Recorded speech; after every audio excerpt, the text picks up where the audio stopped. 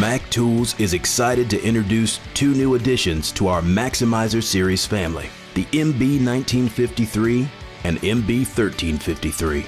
The MB 1953 is a 19 drawer triple bank workstation, providing you with over 48,000 cubic inches of storage space.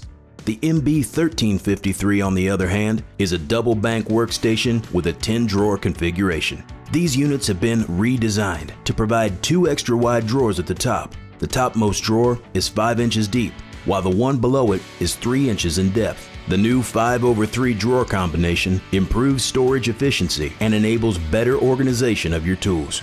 The 5-inch drawers allow for storing deep sockets, while the 3-inch drawers allow wrenches to be stacked, increasing the number of wrenches that can be stored per square inch. These boxes are available in all our standard colors and can also be made to order in color combinations that suit your individual style. Additionally, they can be equipped with an optional power drawer, which enables convenient recharging of all your power tools. Both units feature 200 pound ball bearing slides and heavy duty 6 inch casters with eye-lock brakes for positive wheel locking and improved mobility. These boxes also come equipped with tubular locks for improved security and have cast aluminum heavy duty side handles with a cushion grip. As with all other boxes in our Macsimizer series, these are constructed with heavy gauge steel.